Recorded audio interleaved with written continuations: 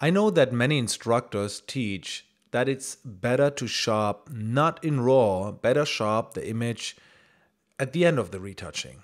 And I don't like to say that's not true, but I made a decision for myself.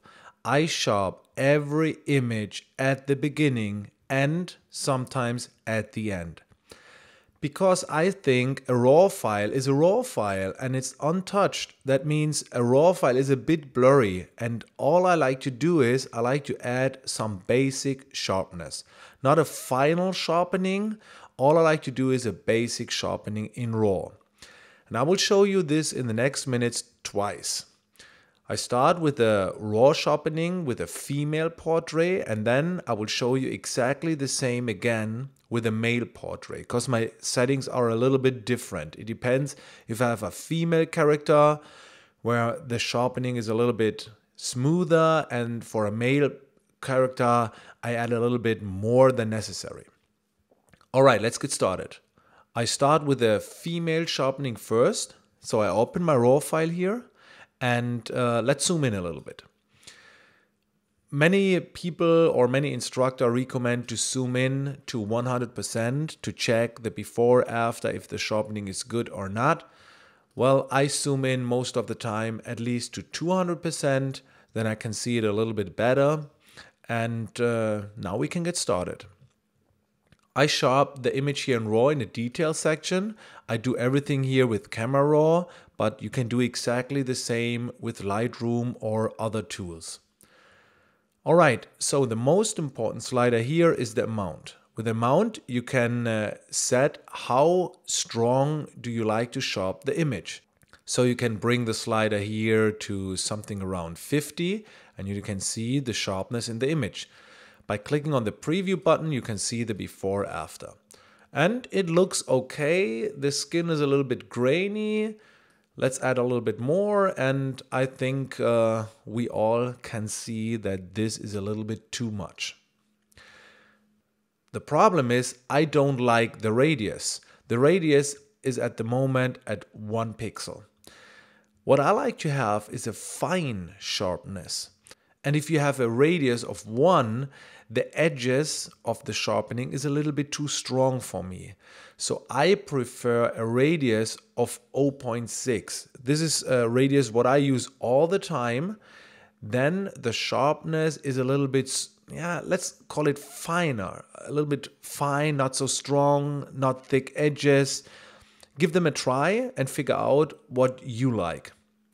And for a female portrait, I think 90 amount of 90 is a little bit too much. Take a look at the before after.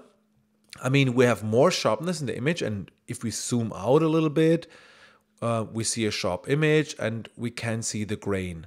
But it's very important to check the picture in 100%, and in 100%, the skin is now a little bit too grainy. So when I sharp a female portrait, most of the time I use the amount of 60. 60 is enough, so it's just the basic sharpness. Let's zoom in a little bit and check it. Before, after, before, after. Well, for this image, let's choose 70, but not more. Before, after, that is good. And check it here, before, after, before, after. It's not much, it's just a basic sharpening in RAW. That's all I like to do here. All right, so it's a little bit different when I have a strong male character portrait shot, like here. Let's bring the exposure a little bit down and let's zoom in. So this image have a good sharpness. It's uh, The shot is done with a prime lens of 85 millimeter and I'm very happy with the result. But I think we can add a little bit more sharpness. And this is a male portrait and maybe at the end, I like to convert it into a black and white image. I'm not sure, but I like to make this image a little bit more edgy, a little bit more rough, a little bit more, I don't know. I mean, it's it's a male character portrait shot. So what I do here is I choose the radius of 0.6. That that is a, a number what I use all the time. But in female sharpening, I use a amount most of the time something between 60 and 70. But when I have a male shot like this shot here, I choose the amount something between 80 and 100. All right, this is 100. And well, I will not say this is too much. I mean, it looks great. It looks very sharp. The skin looks great. So we can easily choose here 100. Most of the time, I choose something between 80 and 100. If you like to sharp the image with 100, let's say 140, then do it. But I don't like it. So the maximum what I use here in the sharpening and the amount for male portraits is something, yeah, I would say 100, not more. And take a look at the before after. This was before and this is after. Before, after. Much, much better. Take a look. I mean, the original file, when, when I opened the file, I thought, wow, it's a good sharpness. But when I check now the before after, I think the original file was blurry. It was not. But in your image is so much potential to add more sharpness. And this is the way how I retouch my images, how I start doing my retouching. I give every image a basic sharpness. And uh, all I do is I change the numbers here a little bit between female shots and male shots.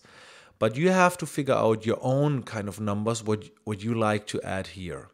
All I recommend you is to give a raw file a basic sharpness, not too much, just a basic sharpness.